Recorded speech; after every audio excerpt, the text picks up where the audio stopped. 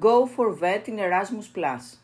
Οι εταίροι του έργου του προγράμματος Go for Vet in Erasmus Plus συναντήθηκαν στην Αθήνα της Ελλάδας για την τέταρτη διακρατική συνάντηση και τις επιτόπιες επισκέψεις στις 9 έως 11 Απριλίου 2024, γνωρίζοντας τις ευκαιρίες και την κουλτούρα της απασχόλησης ατόμων με αναπηρία στην Ελλάδα και τις προοπτικές επαγγελματικής κατάρτισης και πρακτικής σε διάφορους τομείς.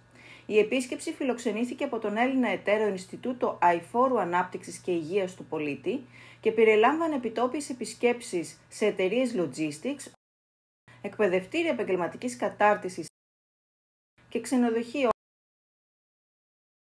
φορείς που υλοποιούν συμπεριληπτική πρακτική άσκηση στην περιοχή της Αθήνας και των ευρύτερων περιοχών του Δήμου Αττικής. Στις επιτόπιες επισκέψεις παρουσιάστηκαν εφαρμοσμένες μέθοδοι συμπεριληπτικής επαγγελματικής κατάρτισης και πρακτικής άσκησης.